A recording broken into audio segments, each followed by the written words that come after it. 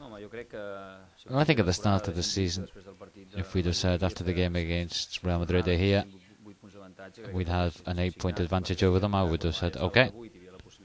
The thing is, when you have an eight-point gap, it could have been 11. We wanted to make it 11 points. But at no point in the game did I think a draw suits us. We didn't go crazy and play with three at the back, but at any point I didn't think that we shouldn't go to try and win the game. We had chances with Montoya and Pedro near the end. It was a hard-fought game. We're talking about defence. We had four first team choices, Alves, Piqué, Puyol and Abidal. They're all missing. For that reason, I said before, the players are putting a great effort. Montoya, it's difficult to come out in a game like this, up against a player like Cristiano when you've hardly warmed up. And he's put in a great performance. It just shows the great quality of the players who come up from the youth ranks when they come up. They put in excellent performances.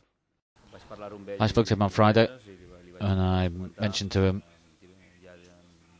and then Friday and Saturday we trained with him in this position.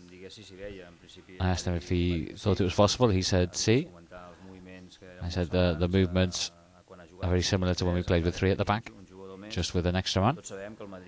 And we know that Madrid always look for the ball over the top. We know Adriano's very quick. He had to be convinced of it, and he was. He put in a great effort today, playing in that position against a side like Madrid. They have very good players exploiting space very quick. I'd just like to thank Gerard as well for the effort he made to try and get fit for the game, but it just wasn't to be.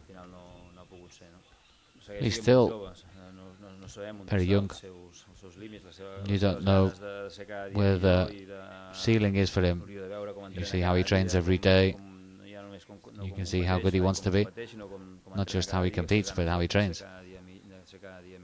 He wants to be better and better.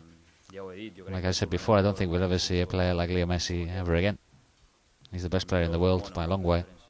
If we start to analyse every incident in the game, I think there was a foul on Andres for the second goal. He said that in the dressing room it ended up in a goal. But refereeing is very difficult, but if we're going to analyse every incident, let's do it.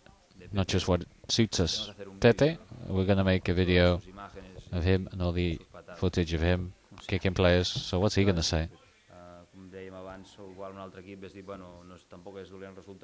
I think, like we said before, perhaps another team would have thought a draw is not a bad result. We'll still have an eight-point advantage, but we tried to win until the very last minute, very last second.